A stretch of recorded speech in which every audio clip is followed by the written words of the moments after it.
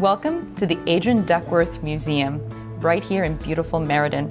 I'm joined by the director and one of the trustees here, Grace Harde, and she's going to give us the background on the man and the mission of this beautiful place. Thank you so much for joining us. What a pleasure to have you here. Aidron would be thrilled.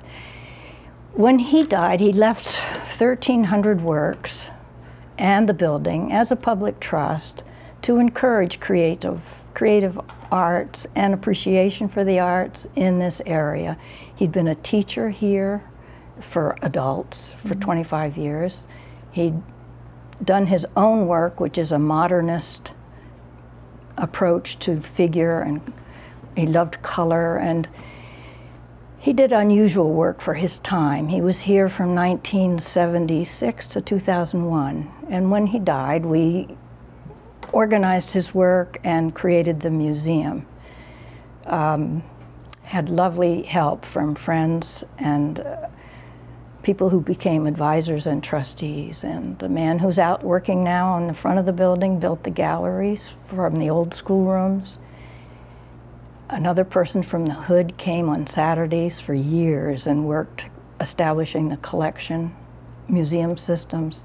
So we're, we're an an unusual small museum. We're not a gallery as such. The mm -hmm. artists that we invite to show their work sell their work directly. We don't. Mm -hmm. And Aidron's work belongs to everybody. So we take care of it. We show it in segments.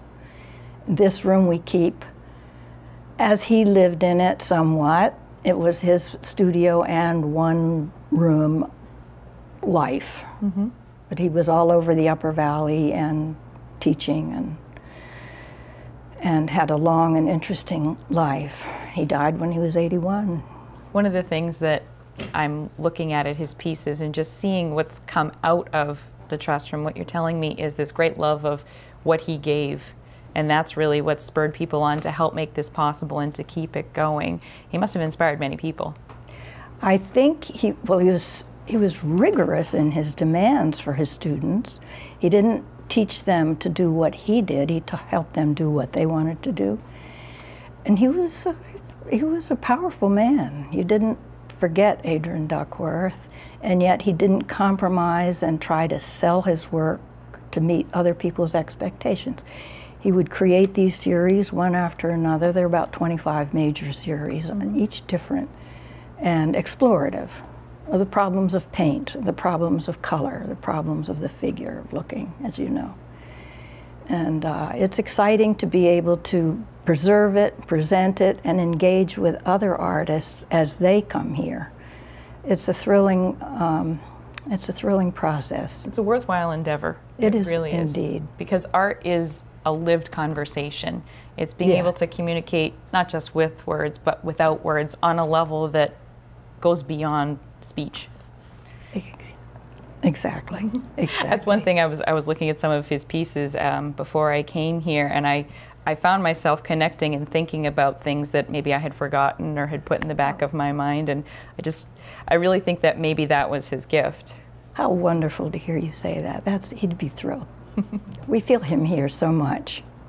So. Now, the museum offers these helps to um, new artists, like you mentioned, new people in the community who are trying to uh, get established. And it's not like a gallery. You said you allow the artists to display their work. They're invited. They're, they're invited several years ahead so they can plan to fill the space with something creative. Mm -hmm. Rachel's work, for instance, she created for that space in part. Usually an artist will when they have at that time try something different for themselves. Sounds good. And now, it is good. How can we support the museum so it can continue to do this amazing work? Well, we're grateful for donations because that's how we survive. And you will have the pleasure of meeting one of our major donors who's here. And we welcome people to come spread the word about what's here it's, as you know, a little hidden treasure. It is.